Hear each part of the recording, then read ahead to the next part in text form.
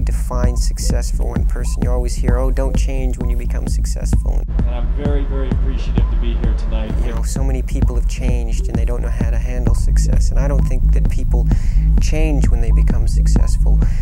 They're, who they are becomes more magnified because there's a lot of pressures and there's a tremendous amount of responsibility, tremendous amount of power. You really have to take responsibility for. You have to grow and you know really address you know all of that